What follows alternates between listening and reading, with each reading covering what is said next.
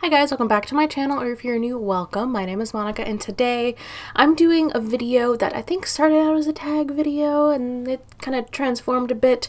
I'm basically going to be showing you products that I bought specifically to do videos on here in my channel, but that I just never made.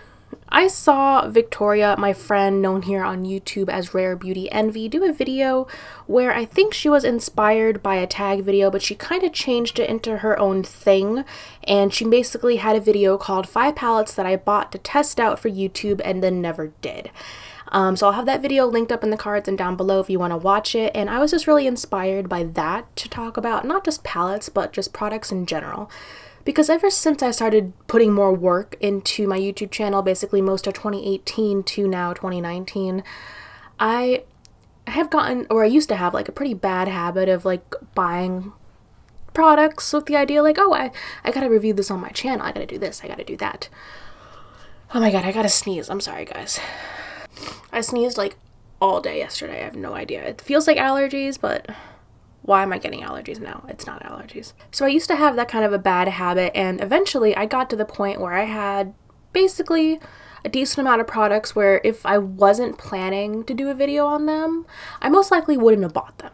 So that's what this video is. It can probably be a part one since I I'm pretty sure I've got more products in this, but I picked like five or six products we're going to talk about today that I bought specifically for YouTube videos that I haven't made. My nose has been running and my eye is watering, so if we could just like ignore that, I'd appreciate it.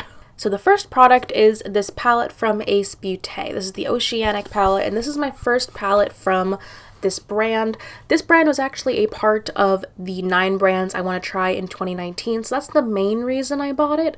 But the secondary reason was that I planned to do a whole video on this. Just haven't gotten around to that.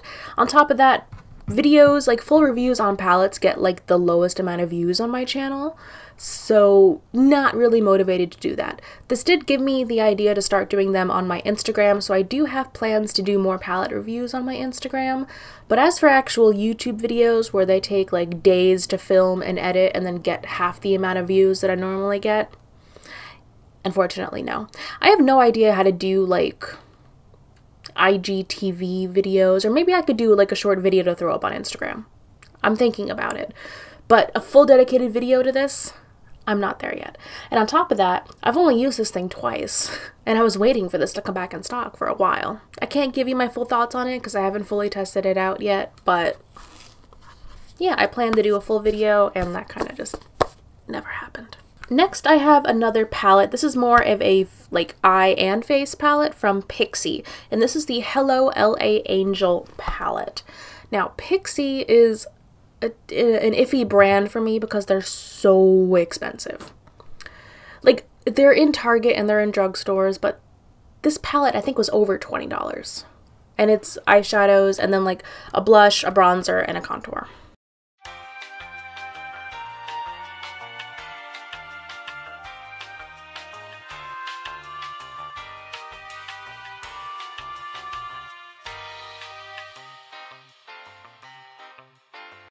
Bit pricey for me. To be honest, I think I've only used this once. I was trying to test out some other Pixi products to do a video review on the brand, but whenever I go to the store to like pick up products, I, I look at them and I look at the prices and I'm like, why? Why? The price of their eyeliner is the price of a mid-range eyeliner at Sephora. It's like $24 for an eyeliner. So like I can't I can't. And honestly, the majority of the reviews that I've seen on YouTube are from people who get these products in PR. I don't really think I've seen a full video of someone who's bought themselves all the products from Pixi and then done a review on them. So for that alone, I think I'm gonna do a video eventually. But like, I would never do a haul because it's so expensive. I, I get sticker shock every time I go into Target and look at, at this brand. It's kind of insane. But I do have this palette. I did want to get one more like eyeshadow palette and maybe a couple more products. Like I said, the, the eyeliner was shocking. I'm not going to spend $24 on an eyeliner when I can get, you know, something from Sephora for that price. But eventually I do want to do a video, but I bought this and still sticker shock. And it just kind of went to the back of my drawer because I'm like, I don't have enough products to do a full video on Pixi yet. But you know what? Let me know your thoughts below. How do you feel about Pixi? Do you like Pixi products? Are there any you would recommend? Uh, do you know of any coupons or sales that they do? Because I only see like the 20% family sale on their website. And like I said, I'm, I'm not to the point where I want to do a full haul because that would be like 50 to I mean at least $60 to maybe 100 to do a haul from their website, which is ridiculous when it's supposed to be a quote unquote drugstore brand. Next, we have an actual drugstore brand, and these are two palettes that I bought mainly because I was interested and curious, but also because I was going to do a video that never materialized. These are palettes from Essence. So I have the Spice Up Your Life palette, which is like this very fall neutral down here, a bit more colorful up here palette. And then I have the Crystal Iced palette, which is very colorful. It's gorgeous, especially this part up here. So I picked these up, I think, when I was traveling, and I just haven't been able to really test them out yet. I was really hoping to do like either a palette roulette or a first impression or some kind of video with these. It just never happened. And again, videos with palettes for me really don't perform well.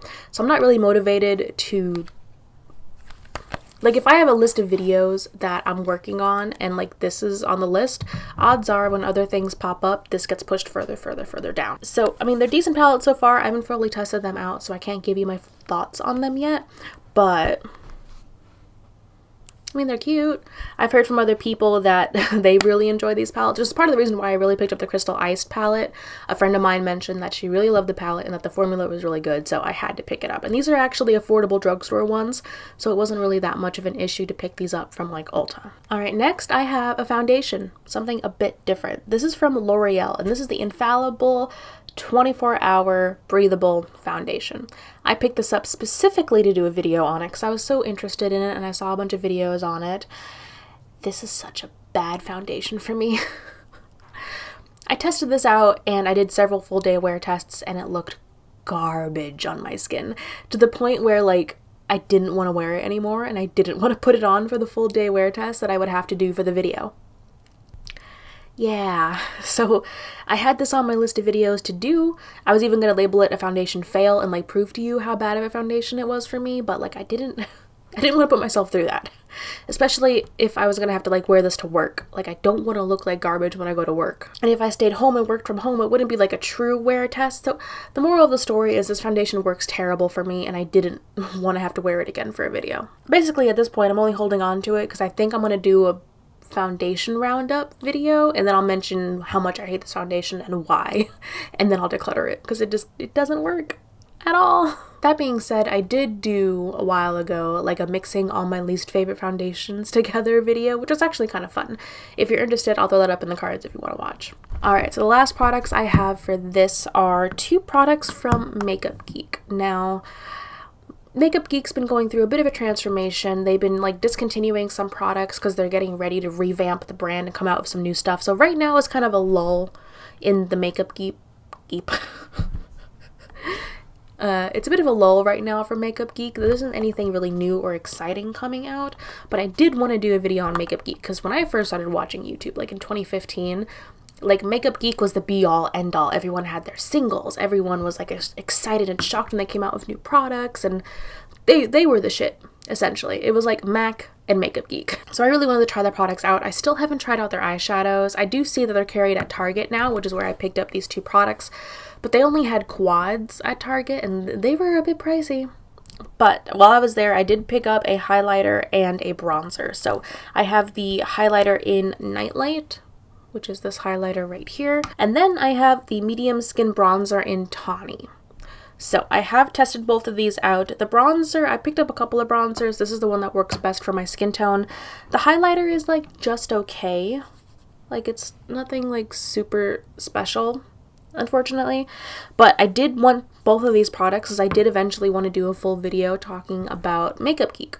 But in order to do that, I really wanted to have eyeshadows and I still haven't picked up any Makeup Geek eyeshadows yet. They did recently come out with something called like the fall bundle that I was kind of interested in, but it just it wasn't really quite there. I think what I'm going to have to do is make my own palette. I think they had the singles available online still. I'm probably going to have to make my own little nine pan palette out of Makeup Geek shadows, get that, and then do the video then. The only reason I'm holding back is because, like I mentioned, I think they are coming out with like this huge revamp with new products coming out some time. Um, and Marlena has been involved in a lot of things recently. A lot of videos have come out. She's been kind of involved in some drama on the outsides, giving her own perspective in, especially when it comes to like Jaclyn Hill. So I'm kind of like baiting my time. I'm just like sitting on the sidelines, keeping an eye on things, and I'm waiting. So I'm not going to declutter these two because I still think they're decent products, but I just haven't found the opportunity to do a video on them yet. That being said, if you have any like particular favorites from Makeup Geek that are still available on their website, please let me know down below because I still eventually do want to do a video, but I've had these for like months now and I still haven't. Alright guys, so that was about seven products that I bought specifically for YouTube videos that I never made. Let me know down below if you like this video idea because I could definitely do a volume 2. Just I'm looking at my collection right now. I can definitely see a few products. So if you liked it, let me know down below. Give this video a thumbs up if you did and I cannot wait to see you in my next video. Bye.